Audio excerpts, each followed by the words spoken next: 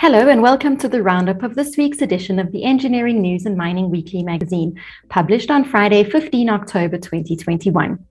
In this week's cover article, Engineering News and Mining Weekly contributing editor Donna Slater demonstrates how electricity wheeling can reduce the risk of load shedding if legal and technical uncertainties are addressed. Experts say that tariffs and the legal framework governing the wheeling of electricity from independent power producers will be key factors in IPP's ability and willingness to feed surplus power into regional and national power grids. The engineering news features focus on water engineering and infrastructure, where a desalination plant in Port Alfred reaches a key milestone gas to power, where the doubling of liquefied petroleum gas markets initiative aims to double industry supply in five years.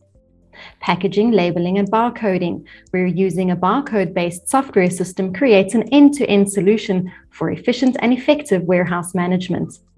And fasteners, where Actum Group's fastening systems are used at solar plants. The Mining Weekly features focus on exploration, where mining investment company Menar increases its local exploration activity. And explosives and blasting, where explosives technology aims to humanize mining.